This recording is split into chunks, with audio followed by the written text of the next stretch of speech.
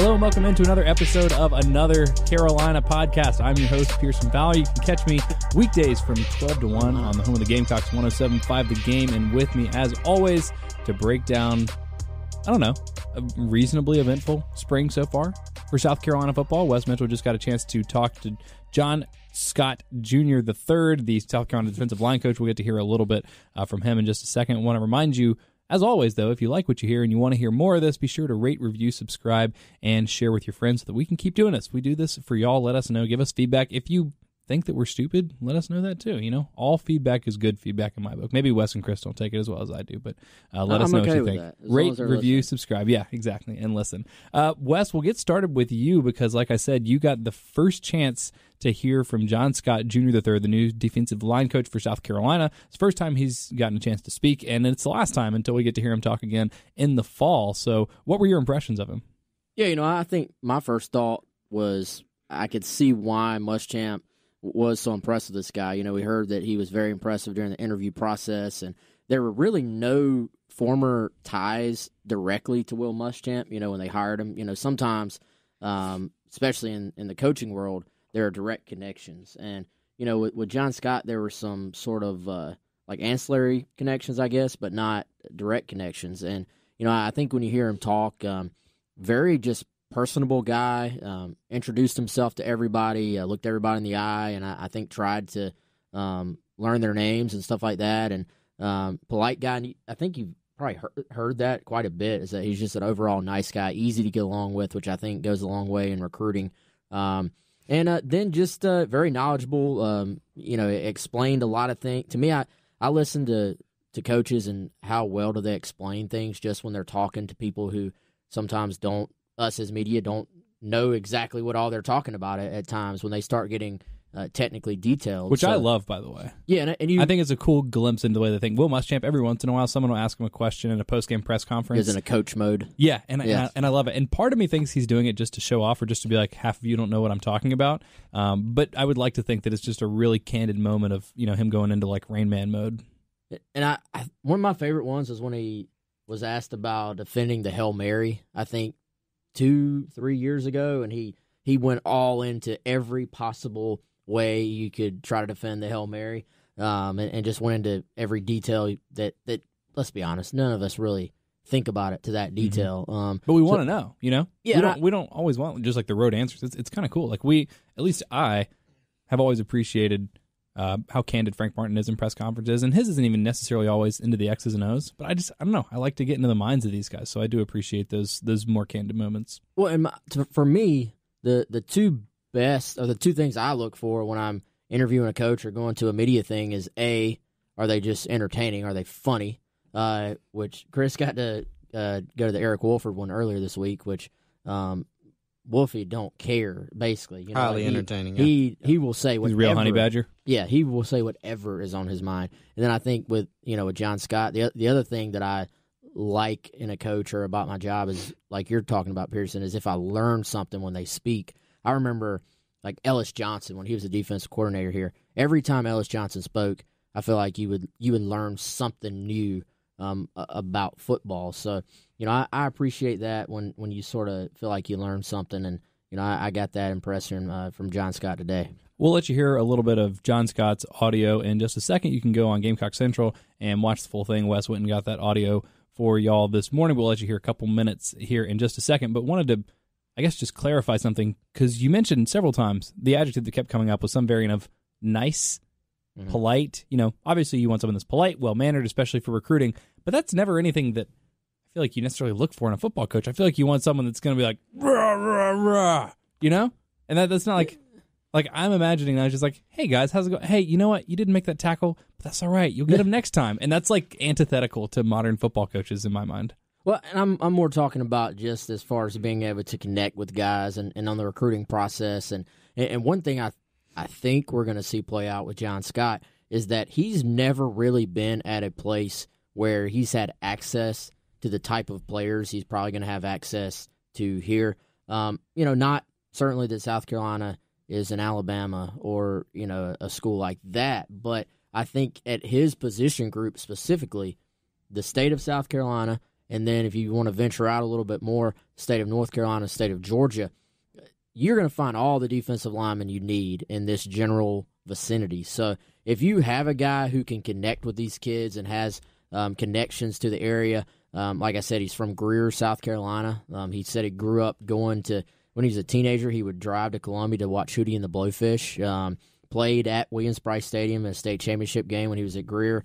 Um, this guy has long-standing connections to the state. Has Did you ask him if he's going to see Hootie when they're going to be here the week of the Alabama? We did game? not. Uh, this thing went long, so you know by the end you're kind of at least I when a guy's been standing there answering questions for like 25, 30 minutes, you know, even if there's more stuff you can ask, I kind of start to be like, all right, let's you know, let's let him get out of here. I guess maybe that's I just go me. until Fink stops me, but yeah. Um, but but no, nobody asked about Hootie. I'm sure. No, that's Alabama week, so there's no way anybody will be at Hootie. Go to the Blowfish. Wednesday night concert. yeah, get a little Uh, R and R, take your mind off of things Still- before you get back into the heart of the game plan. That'd be interesting. They have what a Wednesday, Thursday, and Friday. Yeah, Yeah, definitely I not doubt Friday. the coaches. Probably will be not there. Thursday. Maybe the Wednesday though. If it was off week, they'd all be there. Yeah, but I don't. I don't know if that would be a good look. You know. As long as Maybe nobody I'm finds out, no problem. Well, yeah. I think everybody's gonna think find someone's out. going to find out. Um, but no, so um, I don't even remember what you asked me. Hopefully, I answered it. Well, yeah, I think you did. Serious question though, because I, I've done the Dan Patrick thing now enough that I can't actually remember, and I've probably confused some of our listeners, and I'm sorry about that. Is he junior or the third? He's the third. John Scott the third. No, he's No. John Scott Jr. He's He's John Scott Jr. He's junior. Okay. It- yes, one hundred percent junior. John Scott Scott, Jr. yes. All right. So here is a little bit of John Scott Jr. the third talking to collective media after spring practice today. How did the process go of you getting here? When did Will contact you, and, and, and how quick, quickly did that process go? Well, you know, um, I don't remember the exact dates. I just remember it was around the time of the uh, Georgia uh, State High School Championships, and um, that's kind of when everything started happening. And um, you know, it wasn't uh, super fast. It was, you know, just a little bit of contact, and then then things sped up after the interview, uh, obviously. But it, you know, it was over the course of a few weeks uh, before I was finally able to get here. What makes a Will Muschamp practice different in your eyes? Well, the thing I love about it, uh, to me, it's, it's it's old school. It's what I'm used to. You know, it reminds me a lot of what we did at Georgia Southern with Jeff Monken, who's the head coach at Army. Just you know, the uh, physicality that we're able to get in practice with the half line, the six on four. Uh, you know, I think that's great. You know, and you know, you look at the best football teams; they're physical up front. They're able to run the football, and so I like that because as a as a defensive uh, line coach the more you can get of playing double teams and chip blocks and getting uh, zone and reach and all that kind of stuff, I think the better the better it makes your football team, and the better and the tougher it makes your football team on both sides. So I, I love that type. You're not gonna hear me complain at all. You know, I like what we do. What was your first impression of seeing the group that you'll get to coach here? Um, you know, I'm, I'm pretty excited about what we have. You know, obviously, you know, we have some some guys that are really, really going to be big contributors not out there right now, but that's okay. It's a great opportunity for some of the younger guys to get more quality reps, which, you know, in this league, you know, uh, you better have some depth, you know, because I say all the time it's the AFC, the NFC, and the SEC. So you better have some depth, and you better have some guys that can go in. You know, you need to be six or seven deep, and that's the thing the spring is allowing us to do with some of the guys we'll be counting on in the fall that are out. We're able to develop some quality depth behind that. Who is in the, the group you've specifically been working on, working with in these first five practices? Um, you know, right now um, we got um, Kobe Smith, uh, Jabari Ellis, Rick Sandidge. Uh, uh, we got Gentry. Uh, Zacch Pickens has been out there some. I mean, that's kind of really the group right now uh, as we're you know we're getting started and moving forward. Devontae Davis uh, has been out there as well. So that's kind of the nucleus of guys we got right now. And you know, hopefully after spring break, you know, we may be able to add another guy or two to the group. But that's that's kind of what we've been working with. Is there, is there something nice about work, maybe working with a little bit of a smaller group like that, being able to give them a little more one-on-one attention? Um, yeah, you know, it, it you know it's very similar to the setup we had my last year at Arkansas, where I had the, the inside guys and uh, Coach Caldwell had the DN. So you know that that helps. You know, you're able to get some quality uh, reps, and I think more than anything else, you're able to really specialize on the, the blocking schemes that, and, and situations that the tackles are going to see. Whereas out there uh, playing defensive end, the blocking schemes are a little bit different. Uh, the techniques and responsibilities are a little bit different. So yeah, you're right. You do get to isolate more on what the tackles will see. What about Zacch's um, characteristics and, and the way that he plays make him a candidate to be not just a, an early contributor for you, but somebody who can play both inside and outside? Well, the thing I, I, really like about Zacch, you know, and, and the limited basis he's been able to be out there is, you know, number one, is can't coach that body. You know, he's he's a he's a big kid. He's got already got a powerful lower body. Uh, he's got long arms, so he already has the frame, and you know he he's able to do things naturally that you know really good football players are able to do. You know, naturally with the limited amount of reps and practice that he's had, he's able to do some things. So I'm very excited to see. You know, just like we say, all freshmen they got to get in there and get their nose bloody a little bit, and you know, uh, feel it from SEC linemen. But you know, so far from what I've seen in the limited basis, I like where we're headed with him. I like what I see. All right, and if you want to hear the full clip, just go to GamecockCentral.com. Wes Mitchell has all of that up there for you. Let's talk about his position group because this is an interesting one. It was not necessarily a strength for South Carolina last year. Nothing about the defense was, but there was a lot of good development on that side of the ball. I think Keir Thomas had a nice year playing some tackle, moving out to end at times. You know, a young player. You also look at Rick Sandidge and JJ Enagbare getting their first action in the program. I think both had made major leaps um, towards the end of the season. Add a guy like Zacch Pickens, and unfortunately, you lose a guy like Josh Belk. So, in talking mm. to John Scott Jr., there you go. Uh, uh, it's going to take a water break. Talking, yeah. yeah, I mean, I'm just going to do that for the rest of my life. In talking to John Scott Jr. and in the little bits of spring that you have gotten to see so far, how do you feel about the line heading into fall camp? Yeah, I think like he talked about today, it, it's really helped that some of the young guys have gotten to take reps because um, you know, Javon Kinlaw is not out there, and he, he's actually he's very high on Javon Kinlaw as you would you know expect him to be. But uh, a lot of these other young guys have gotten to play a lot. Um, you know, Keir Thomas has been banged up as well, and um, I don't know, Chris. You may know where. Do you know what the plan is going to be for Keir this year? I mean, still back and forth. It yeah, they like. haven't. I'm not sure specifically. They haven't indicated, but you know, he he played some in last year. He played some tackle, and so there's been a few swing guys, and I think he would just figure to be yeah, another you know one of guy. those swing guys. Did you get a um, sense in talking to Coach Clark today that he likes to cross train guys? Yeah, I think that's going to be the plan with with a lot of guys, and they you know they they play so much three man versus four man, and a guy that is maybe um, an inside guy in a four man front may be a quote end in a three man front. So the fact they go back and forth a lot, I think, lends itself to some of these more versatile swing guys like a Keir Thomas, Zacch Pickens. He was, of course, asked about Zacch today. Um, Zacch has worked with him a lot. I, I, think when he's been able to be out there, Zacch's still a little bit banged up, but he's uh, he's very high on him. And I, uh, you know, I think this group ha- has a chance once they're completely healthy. You know, I, I think you look at uh, Javon Kinlaw being a sure starter. Um, you know, DJ Wonnum at the Buck, which technically is not John Scott's spot. Uh, you know, he doesn't really work with those guys. But that's Mike Peterson working uh, with the Buck that, still. Yeah, that's Mike Peterson. So you you look at, but just looking at you know what a front might look like. Um, I think past those two guys though, you're going to have some like real battles. I, I think they're you know Enagbare moves back to defensive end. They're extremely high on him. You know, Keir Thomas, you imagine is going to be playing somewhere. Like he's going to be in the mix. Kobe Smith came on pretty strong last year. And then, you know, where exactly does Zacch Pickens fit in? You know, is it truly a back and forth thing? Um, you know, I thought listening to Wonnum yesterday, he I can't remember the exact way he said it, but he sort of seemed to indicate Pickens had played inside a, a bunch so far, which I, I, thought was kind of interesting. Well, we heard a little bit. Uh, I guess it was when T. Rob was talking to the media about moving him inside and envisioning mm-hmm. him as as like a who's the, who's the comp? It wasn't Gerald McCoy. It was because he's a more traditional defensive tackle. Who is it for the Eagles? Fletcher Cox. Yeah, he yeah. made the comparison to Fletcher Cox and wanting to move him inside. Um, and you know we see Will Muschamp cross train people at you know in the secondary, and we have seen Eric Wolford cross train people at the offensive line. So I guess I mean that's just the name of the game now. But it, it does it is interesting because it seems like both sides of the ball for Carolina, at least in the trenches, are going to be very versatile. Because as as we both mentioned earlier, Keir Thomas playing inside and outside last year. JJ mm-hmm. Who played inside last year, he's going to be playing more outside this year. But the way they're mixing up looks, and now you have Zacch Pickens, who's as pure defensive end, just pass rushing talent as you're going to find, and even moving him inside. So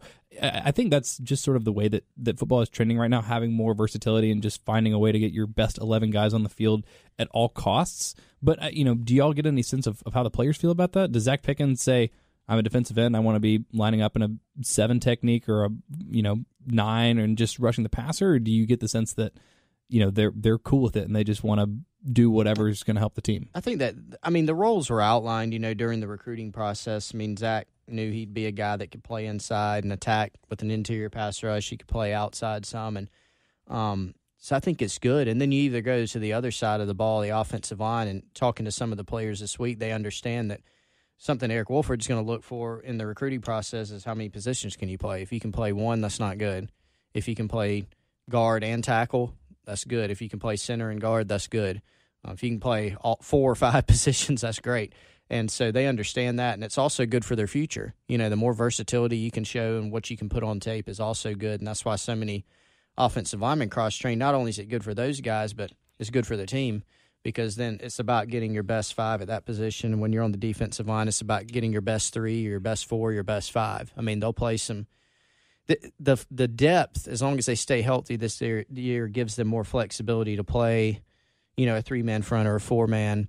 You play a fifty type front where you got three down linemen and sort of two guys out on the edge. That's going to help them. And, and then on top of that, Zacch Pickens is a guy who can play some different roles and not really be pigeonholed into one different thing, and they can keep pressure. Um, that's something DJ Wonnum talked about yesterday. The fact that they have more depth, they can go 100% every snap and know that you know somebody can come in behind them and play at a high level. And they figure to have some more of that this season, as long as they can stay healthy. It's it's exciting, and I haven't yet arrived at the point where I can just be unabashedly exciting about this defensive line because. Like I said, you know, it wasn't a great unit last year because no part of the defense was great last year, and they had some injuries and they still had some young guys. But I mean, how do you guys feel? Are, are you allowing yourselves to get excited, or are you still cautiously optimistic? Because again, it, it, wasn't great, and it's a lot of the same personnel, and you expect some guys to take a leap. But are, are people getting ahead of themselves? Maybe. I I I think you can allow yourself to be a little bit excited because, um, for one, it's to me, it's not the same personnel when you consider DJ Wonnum was out for so long, and he's such a difference maker. And we saw him get to the quarterback against Tennessee and, and go make some plays and, and, and stuff like that. And I, I think that, um, you know, you look at a healthier Javon Kinlaw potentially. You add Zacch Pickens, um, Enagbare playing maybe maybe his more natural position. A year sure. older Keir Thomas. Um, I mean, shoot, look, think about. Uh, to me, I start to think about who all could you get on the field at the same time? And you know, if, if Pickens is more of an inside guy, then maybe you're talking about Wonnum at Buck, Kinlaw at sort of a nose, one technique, Pickens at like a three technique, and then a sophomore Enagbare as your defensive end. I mean, that's four pretty talented guys. If you know, if Pickens is more of an end, then you know, I think him and Enagbare are probably fighting it out. Um, and then you're talking about maybe a veteran Kobe Smith as the other defensive tackle, or um, Keir Thomas as the other defensive tackle, maybe even depending on the matchup. And, and we totally left out Rick Sandidge, who I thought was yeah. awesome at times yeah, last year. Yeah, and, and we haven't talked about Aaron Sterling mm-hmm. at yeah, all. I yeah, mean, I'm just trying to pick four basically. Yeah, and then yeah. you fill in the blanks. You know, after that for the next four. Yeah. Um, I mean, Rick Rick's going to be in the. I mean, I I think the starting. Maybe we haven't talked about it that much, but who starts alongside Kinlaw as like that other quote inside guy? It's like four um, guys you could put there right now, and I wouldn't call you crazy. That may be one of the most least talked about, but most like highly battled, I guess, spot um, because so many guys could fit in, and and some of it's going to depend on, uh, like we've talked about, um, matchup, who you facing that week, and uh, you know what formation are you in? Are you a three man, four man? Um, is this like a a power run team you're facing? You know, in those situations, maybe maybe it's Kobe Smith and Javon Kinlaw plugging up the middle. But if this is more of a spread team, maybe Zacch Pickens is in there alongside Kinlaw. As y'all know, we don't get to see a, a, whole bunch of spring, and even the spring game won't tell us a lot because it's you know a different kind of different kind of experiment. But I will be very curious to see just what the units they run out there are because again, it's, it's not going to be full speed. It's not going to be really complex, you know, offensive looks that they're getting, but just to see who is lining up where, I think is going to be really, really interesting. One of the things that I'm most looking forward to uh, from the spring game, just uh, just under a month away now, I guess, right? Isn't it like April? 5th? April sixth. April sixth. Yep. April sixth. So just under a month away. Certainly looking forward to seeing how the defensive line plays out. Other things we've, we've heard from several assistants now. It's been about a week of practice. What have you guys seen or heard? Last week we went through some of our top storylines, some of the things we were looking for. Obviously interested in Hilinski, interested in what Zacch Pickens would look like. What have you guys picked up in the last week or so that has been of interest, either something that a coach has said or something you've seen in practice? I think um, you know, a couple interesting things um, at running back. You know, that that's been sort of that's one of those storylines, Pearson, that we talked about, where you know, sort of how is that going to shake out, and and really, there's not an answer. Not that we expected one. It may not be until preseason or even heck, even the first game. But you know, spring gives you some time to sort those things out and see how guys develop. Um, Rico Dowdle's been still limited in practice, and so that's given you know Mon Denson, Deshaun Fenwick, Kevin Harris. Those have been guys with AJ Turner still on defense. Uh, they've really been shouldering the load there, and uh, we've learned that Kevin Harris has done a really nice job. I mean, he, he's a guy that has impressed. Asking some of the players during the media availability, he's been a player that's really come up a lot. You know, when ask a ask the players which offensive guys have stood out He's big, he's powerful, got a big lower body. He's an extremely hard worker. So I think his presence has sort of pushed some of the other backs. And then AJ Turner yesterday, even though you know he's at DB, had a lot of great things to say about Deshaun Fenwick. He said from from this time last year to this time, the same time this year, he's he just looks like a completely different guy because he's really, I think he's sort of bought in, taking coaching. His work ethic's a lot better and he's running harder. And so I think that was sort of a couple encouraging signs maybe about the running back room. You know, I, I think um, I go to the DBs, and you know, it might partially just be fresh on our mind, but I'm very curious to see how that group plays out because I, I think you're you are still, especially until the freshmen get here, you're you're still kind of thin there, but um, man, they're they could put a lot of talent on the field, and I, I'm curious to see how it plays out at this nickelback position. Um, they want to play Jaycee Horn outside at corner, and you know with Israel Mukuamu and Jaycee Horn as your starting corners, like I, I think, and I know they're both sophomores, but you're in pretty good shape there. Mm-hmm. You have size on the edge. You know, Muschamp keeps talking about stopping the run and how the perimeter screen game, which they include as as the running game as far as defense goes. Um, I think those two things go hand in hand when he's saying they have to be better on the perimeter and they want to put a guy like Jaycee Horn on the perimeter. And Jaycee Horn's Carolina's best corner, and it's not close. I mean, he's as yeah. good as, I mean, in terms of talent, you probably have to go back to Stephon Gilmore to find someone with just that kind of ability to be a lockdown cover corner on the, on the other side. Mukuamu, who you know got a little more action as the year went on, just because of injuries. He's massive. He's he's listed at six four, and like is really every bit of that six four. He's really long, and one of the things that I've heard I don't remember if it was Travaris Robinson or one of the other players saying uh, just you know his comfort, um, his his speed, his agility, especially with his hips. Because that's one thing that you look at when guys are that tall; they don't necessarily move laterally as quickly as you would like a corner to, which is why you don't see a lot of six four corners. But if mm Mukuamu has you know improved some of that lateral um, agility, improved his hips and things like that, that's something I'm excited for. But that nickel that you were mentioning is the staff just that committed at having Jamyest Williams at safety? Because I thought as a freshman he was really really solid at that nickelback. They tried to move him at safety last year. He ended up playing a little bit of nickel, got hurt again. I, I feel like he's the natural guy to fill in that role, right?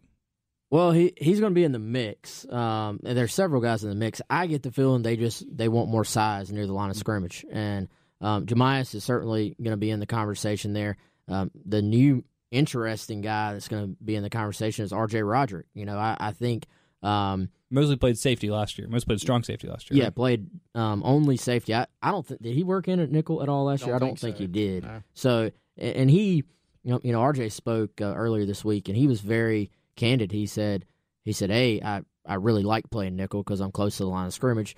B, I, I need to keep studying. Like I, you know, I've got a lot to still learn about it." And he said he thinks what he needs to learn is is just going to take time in the quote classroom, like in the meeting room. Mm-hmm. Yeah, because um, the physicality is no problem for him. We saw him lay the yeah. wood on multiple occasions last year. Likes to hit people, and uh, so you know, could RJ take that spot? And then the question becomes, okay, who sort of fills in behind him at, at safety if he's having to play nickel? And um, you know, I, think in some cases, maybe maybe when you're in the four three, RJ is a safety, and then when you go to nickel, he comes down, and you then if, if you're committed to Jamyest at safety you know, maybe Jamyest slides in at safety. I, I am very intrigued by Jamel Cook because I think when you're talking about continuing, I think it's at the point where South Carolina needs to be able to put quote SEC sized guys in their lineup. Basically, all 11 in the starting, you know, lineup on defense. And when I look at Jamel Cook physically, I say that guy looks like it's supposed to look. Sure. Um, so I, I, think he's maybe what would you say like an X factor if if he could have a great spring and then a great off season and take a spot at safety. I think that helps a, a number of different situations. I know it's hard to say right now. Where do you think Jammie Robinson factors into this? You think they'll try and put him at the nickel, Nickel. or Nickel. Yeah, yeah, Okay. and I, I think long term, you know, he he could be a nickel or a safety, but um, you know, he they they actually have said he and Shilo Sanders will get a look at nickel when they get here, and R.J. Roderick just um, uh, literally started smiling when talking about what Jammie Robinson's game sort of brings to the table. Um, so I, I think they're they're kind of similar mindseted guys. Uh, you know, Jammie's a kid that'll hit you and then tell you about it.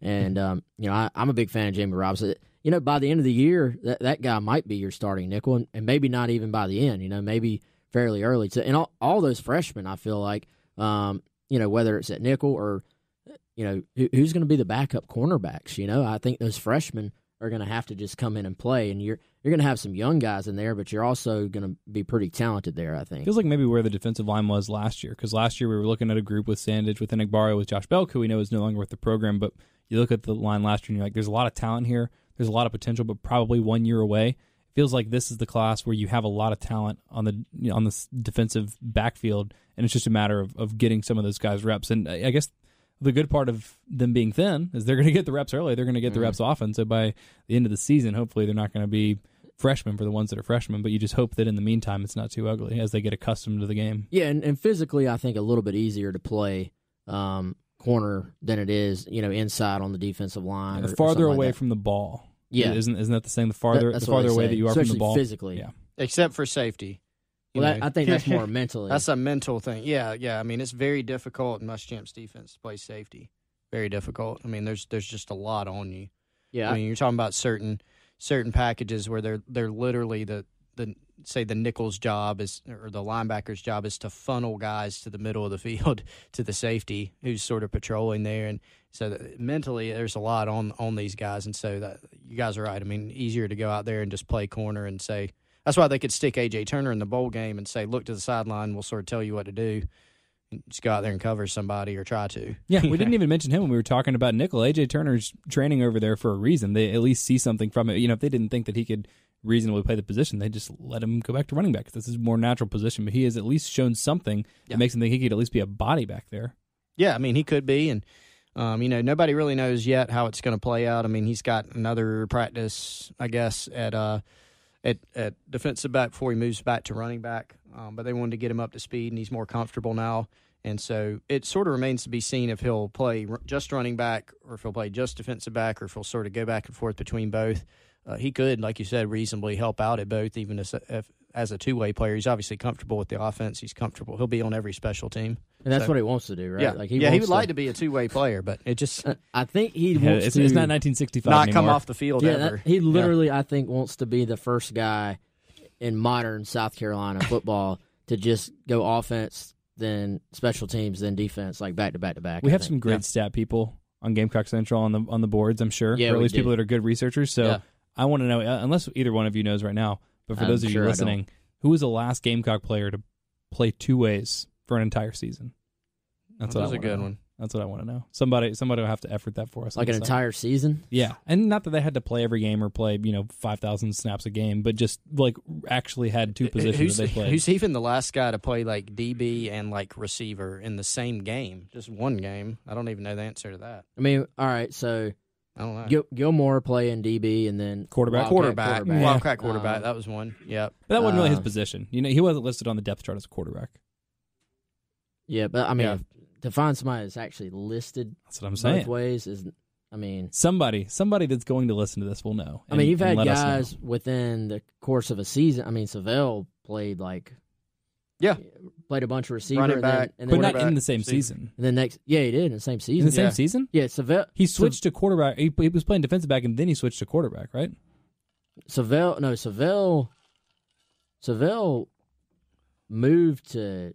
I feel like Syvelle was on offense in 2006, and then didn't he start at safety in the swamp? Um, the block field goal game. I think that's right. So the same, but Doesn't so the to same season, but not in the same game because he wasn't playing quarterback that game.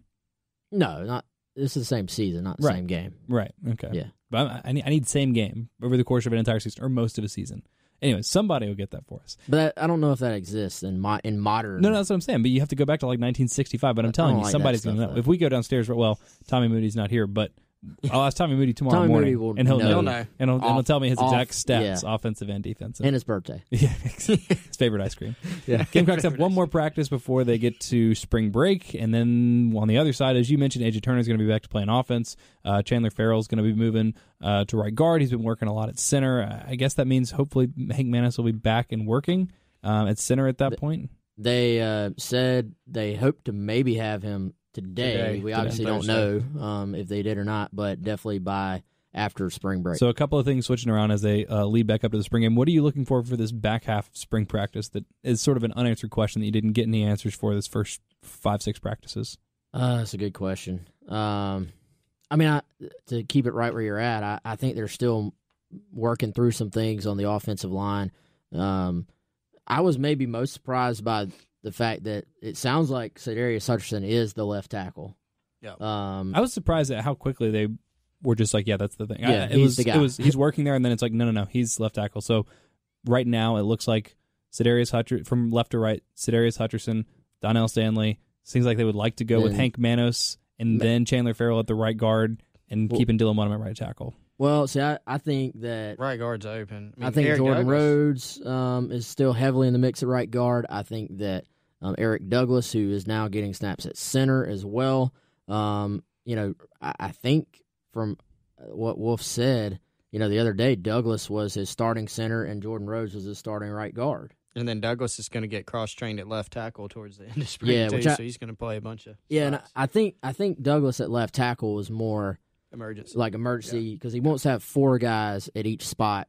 That not necessarily that hey, you know, we feel great about all four of these guys at each spot, but at least you have some experience if it just Yeah, and I mean right guard's got what four guys who could realistically mm-hmm. end up being the guy before the season, not even exiting the spring, but it could be like Douglas has been more consistent. Jordan Rhodes is probably the more talented player. Yeah, Yeah, the more powerful a player. more size. Um, and, and and so you got those two, and then Farrell could play it. Um, Hank Manos could play it. Really, Yeah, um, he'll he'll get some work at guard, and then you got Gwyn too. So it's going to be interesting. And all this one. talk on both trenches, and despite the fact that your four second clip of Ryan Hilinski throwing a football into a net, getting like 15 billion views or whatever it ended up being, yes, no talk of the quarterbacks really. I mean, other than projecting some confidence into Dakereon Joyner and Jake Mm-hmm. Bentley saying that he's going to take these guys under his wing, which is exactly what you expect him to say. No real developments there. Does that surprise you? Does that concern you?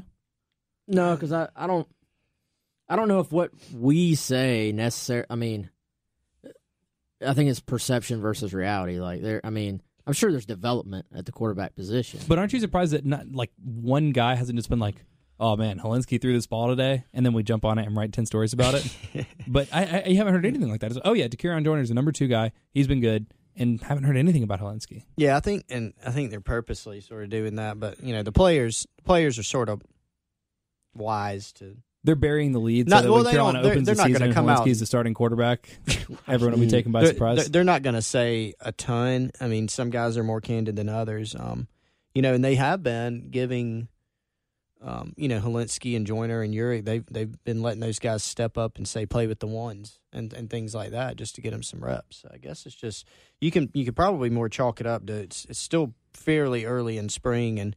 We have had some people tell us, you know, this guy looks good. He, he's done some good things, but I just don't know. It's still sort of early for like some huge movement. well, I mean, I don't need a movement. I just want to hear something about him. He's still, first of all, learning everything right Mhm. now. Yeah. And I, I don't think Hilinski um, is that guy. He's not that guy that you're just going to look at and be like, oh my God, that's the strongest arm I've ever seen in my entire life. Like that, that's not his game. Like he has a strong enough arm.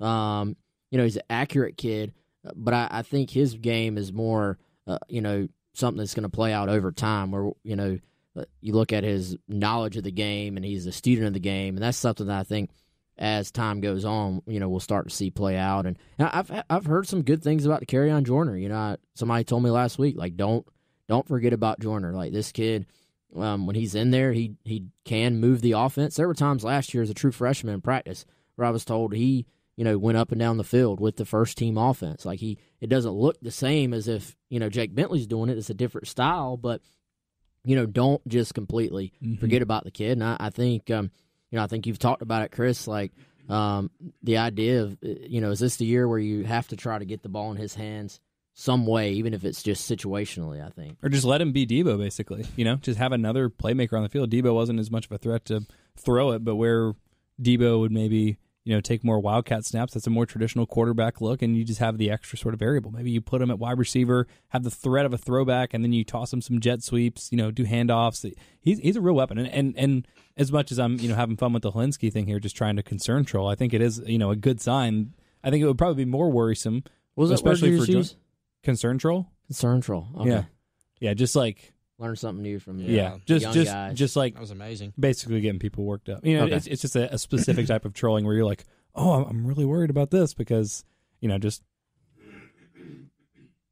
But I I- I think it would not portend well for Carolina if it was like, oh, you know, Hilinski came in and he's number two right there because Yeah. I, I think it's I think it's ultimately a good thing that what we're seeing is Dakereon Joyner has you know taken a step, he continues to progress, and that this new guy who as talented as he is has had five practices Mhm. under his belt, and like you mentioned, is still going to take him a while for him to learn the entire offense. I think it's a, a very good thing that, that he's not go ahead and taken that uh, that number two role away from Dakereon Joyner. We have a couple weeks, just under a month, three weeks, just under four weeks until the spring game. We'll have a couple more, another Carolina podcast before that, including the one that I'm very excited about. We're going to do this. We're going to go through the all-time spring kings. That's what we're going to call Okay. it. The guys that have just totally balled out in spring practice. And I, you know, I don't know. We'll, we'll have to. I'll have to discuss this with our executive producer Wesley. Um, I don't know how like mean we want to be about it. Not that it would ever be mean spirited, but I don't know if we want to limit this to guys that were awesome in spring and then never did anything else, or if it's just guys that had great springs regardless of how the rest of their careers panned out. So we'll, we'll have that for you uh, at some point before the spring game. But thanks as always for Oh, tuning we in. got a uh, hold on. I'm Oh. gonna cut you off. Do it. Do it. This is EP your show. stepping in. Two plugs. Yeah, this is an exclusive, as we call it in the business. Um, Pearson, if anyone listening to our podcast from now on wants to get on Gamecock Central with a 30 day free trial, this is not offered anywhere else. We're only mentioning it on the podcast just to see what that. It's kind of an experiment, I guess. GC Pod. So if you go sign up, just type that into the code, and you get 30 days free to Gamecock Central. So if you you have to put in a credit card. We're gonna be completely upfront, honest. Like if if you don't cancel within the 30 days, you will be charged. Um, and it's 9.95 if you do it per month. It's 99.95 if you do it annually. So um, if you want to try us without paying for it, just cancel before the 30 days are up, and you'll never be charged a single cent. But uh, after the 30 days are up, it will charge you. But we want to give people who listen but maybe have not been on the site and checked out some of our premium stuff a GC chance. Pod. GC Pod. GCPOD. Pod. Um, what else do you need to push? And the easiest way, you know, you can go, you can sign up directly on GamecockCentral.com. But if you've already heard enough, you can just go to join.gamecockcentral.com. That's another way. Perfect. Cut I mean, the look at middleman. that. Then don't even have to find the Or link. look in the upper right Yeah, I- hand corner I of didn't even- GamecockCentral.com. I Join.gamecockcentral.com. don't even know That's we right. did that. And you can go to that. And, you know, and of course, like Wes said, you can cancel. I don't think you'll want to because you'll fall in love with Wes daily and his uh, musings on the program and inside info. And you can post all sorts of nasty stuff on the boards about us if you don't like it. Mainly It's about free Pearson. speech. Yeah. But that's right. I love those are my favorite threads. Did you see that thread I had to delete? I didn't. I'm- Did I'm you really? No, I'm, I'm kidding. I was gonna say it wouldn't surprise me. It's probably been some. I, I, I like to get on there and, and, and respond to people. Though I, I find that people are like, "Oh yeah, he's the worst," and then I'm like, "Hey, why do you think I'm the worst?" They're like, "Oh no, you're okay." yeah. That's how it normally They goes, don't, you they don't know. want to say it to your face. Yeah, no, which is okay. If people think I'm, there are a lot of people I'm sure that think I'm the worst, and they're entitled I to don't that think opinion. they think you're like the worst. Uh, Some people Ever. probably do. I, I, I, if if the three letters N, B, and A happen to spill out of my lips at any point during the show in that order, Well, I'm people will agree lose their with them. collective Yeah. minds. Chris and I spent the entire local show today talking about LeBron. Pretty much, it was We did. fantastic. We did. Uh, what, what else? So the before last you forget, Before we forget, yeah, I get off track. So the other thing we have, we have a newsletter, and it is daily, and this is free. So people like the Gamecocks and That's free his stuff. pitch. It's daily. And it's, it's daily free. and it's free. It's Monday through now, not every day. Give us a little bit break. Monday through Friday. They get weekends too. Yeah, it's called Gamecock Nation Today, and it is a newsletter. It'll be dropped directly in your inbox if you sign up for it. Um, basically, it's going to have all sorts of Gamecock info every day, Monday through Friday. It comes early in the morning, so you can catch up on everything. It's a one stop shop. It's been endorsed by the greatest figures in Gamecock history. Um, Stephen Garcia. Steve Fink. Steve Oh, Fink. Fink. I, I thought you were going with the other. Steve I hope we don't get in trouble for mentioning that, but he loves it.